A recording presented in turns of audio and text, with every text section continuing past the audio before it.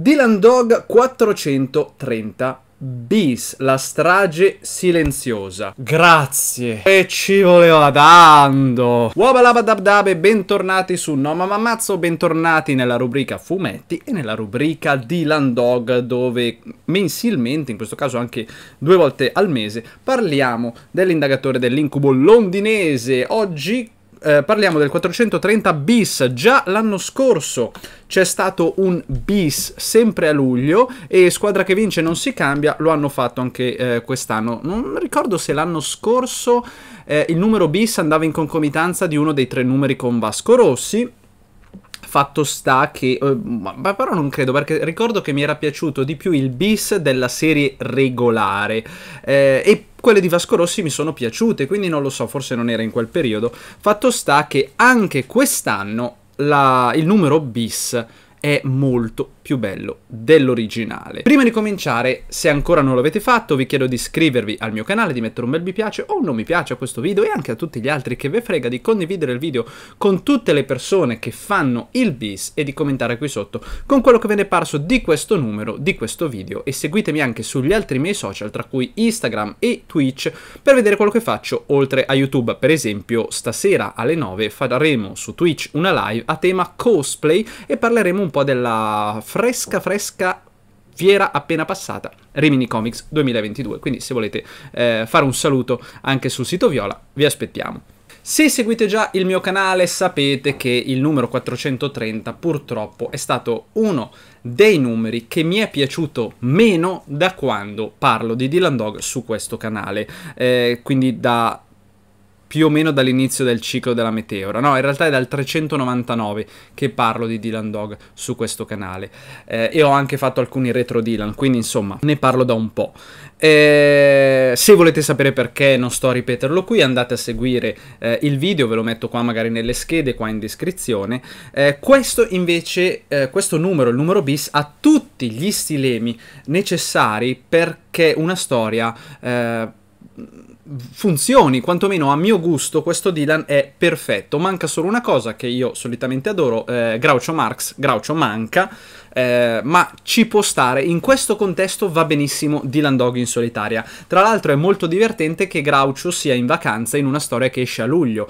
Eh, se fanno questa chicca ogni luglio, eh, sarebbe divertente vedere che nel numero di luglio manca Groucho, magari nel numero di luglio, nel numero di dicembre manca Groucho. Sarebbe molto divertente piuttosto che farlo mancare magari in alcune storie sì e in altre invece c'è. Però mm, so che sono delle finezze eh, un po' troppo... Uh, esagerate da pretendere, però mi è piaciuta questa cosa. Il numero si apre in modo molto veloce, in modo molto eh, cinematografico. Devo dire che eh, ho se non sapessi che lo hanno scritto la Porretto e l'Americone, eh, avrei pensato che l'avesse scritta eh, Recchioni stesso, perché appunto c'è questo taglio molto veloce, molto cinematografico, eh, che ti porta subito all'azione, eh, che è come dovrebbe essere un Dylan moderno. Poi per carità ci stanno dei Dylan dove c'è tanto racconto e dove c'è quel sapore retro eh, con tanti dialoghi. Mm, ci stanno anche quelli, ma dato che quelli non riescono a farli bene, a sto punto andiamo sul moderno. Sia la storia, sia eh, le, le tavole, le inquadrature sono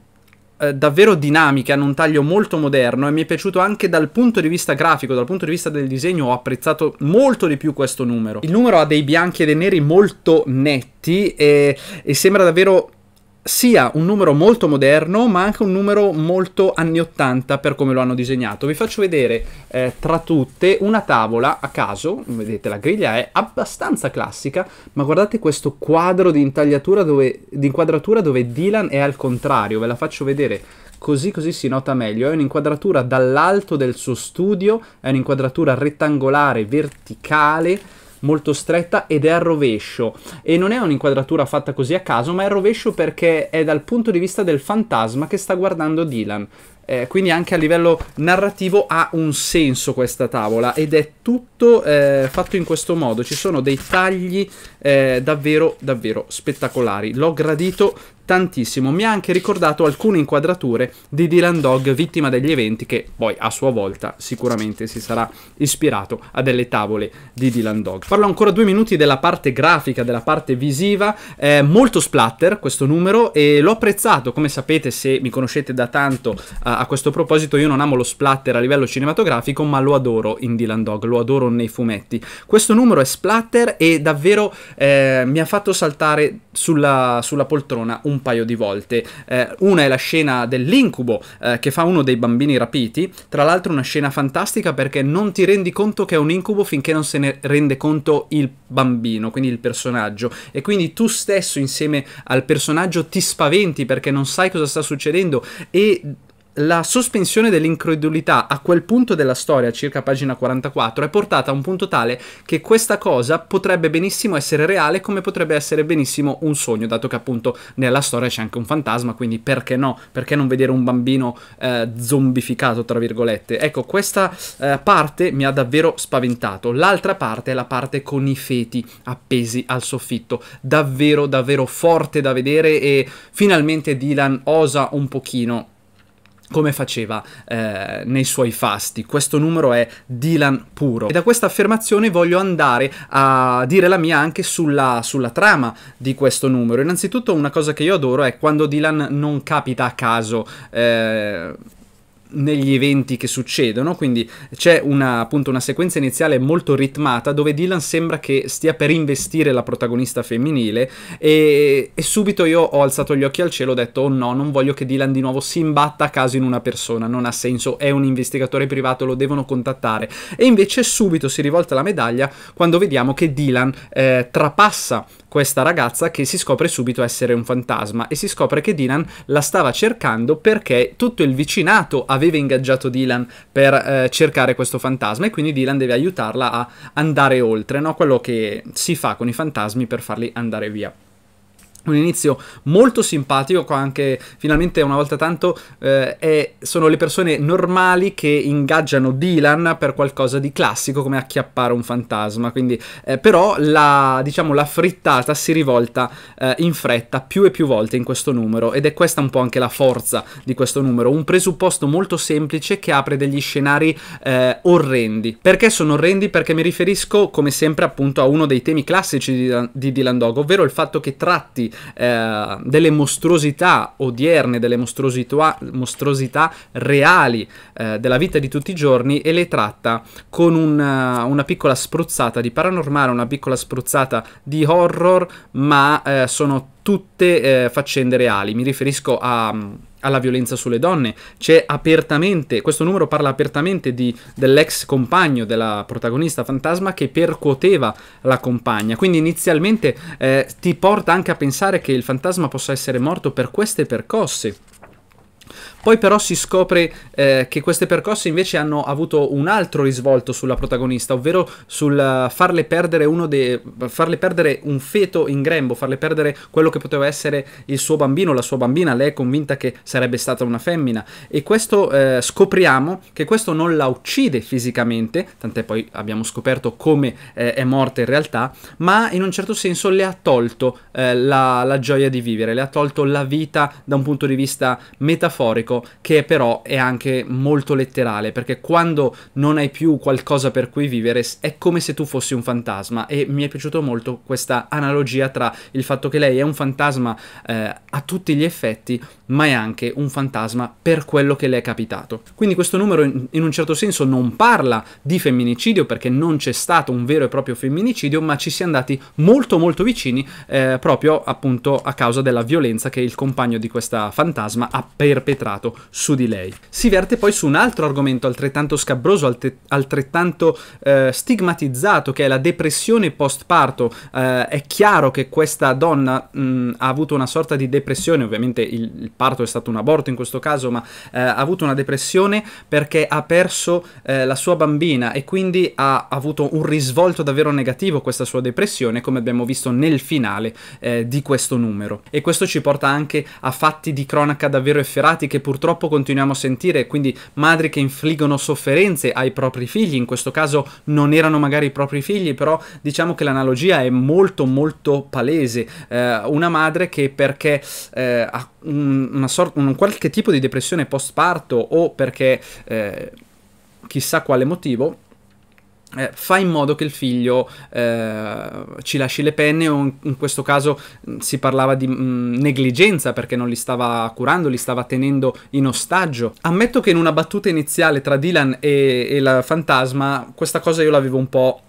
intuita, poi però la storia ci porta appunto su altri lidi, quindi sul compagno, eccetera, e quindi mi hanno un po' depistato. Però alla fine, quando salta fuori la verità, ha, ho detto: ah, ok, però all'inizio questa cosa sembrava effettivamente eh, quello che poteva essere il finale di questa storia, e così è stato. Ma la, la ciliegina sulla torta di questo numero è anche in un certo senso l'epilogo. È un finale molto, molto forte, così forte che ha portato il protagonista Dylan a riattaccarsi alla bottiglia.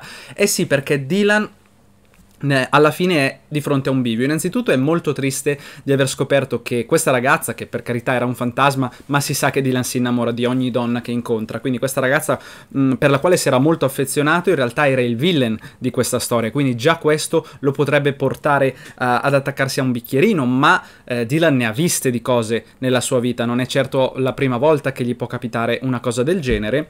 Uh, vedi Anna Never, per esempio, che si è rivelata il villain nel, nel reboot ovviamente. Ma qua c'è anche qualcos'altro che lo fa uh, attaccare alla bottiglia, il fatto che lui sa esattamente dove si trova l'ex compagno della fantasma e deve scegliere, deve fare una scelta se dirglielo e quindi condannarlo a un'esecuzione da parte di un fantasma, condannarlo a morte, oppure non dirglielo, ma non lasciare, ehm, non dare pace appunto a questa fantasma. La decisione di Dylan, che in questo numero, come in altri, non è un eroe senza macchie senza paura, ma è un essere umano che eh, vuole giustizia per questa donna, condanna in un certo senso a morte il compagno eh, dicendole dove si trova e la fantasma ovviamente con i suoi eh, poteri di fantasma fa quello che deve fare, ovvero fa causare un incidente, vendicandosi del suo compagno. Che dire, se questo numero ha un difetto, per me è quello che eh, è finito subito, l'ho adorato, eh, vorrei leggere altrettanti numeri così. Sono felice perché già il mese scorso, nel mese di giugno, dovrei aver detto qualcosa del genere sul fatto che appunto ho, ho apprezzato davvero il numero eh, della serie regolare. A parer mio, eh, ripeto, a parer mio, il 430 è stato uno scivolone perché è, diciamo che segue un po' la linea filosofica dell'autore che però eh, a parer mio non si sposa bene con uh, il Dylan Dog moderno che dovrebbe, che dovrebbe, essere, mentre questo numero è il Dylan che dovrebbe essere da adesso in poi. Non mi dispiacerebbe anche se ci fosse un collegamento tra una storia e l'altra, ma so di chiedere troppo. Tra l'altro è percepibile che questa storia è recente, che questa storia è post reboot, che questa storia non è stata riciclata come stanno ancora riutilizzando tutte le storie eh, dei, dei, Dylan pre, eh, pre ciclo 666. Questa è chiaramente stata scritta dopo. C'è Rania, c'è Carpenter, c'è Block che è alla scrivania, è il soprintendente, quindi non è in pensione, quindi è chiaramente stata scritta eh, post Meteora e si sente tutta la freschezza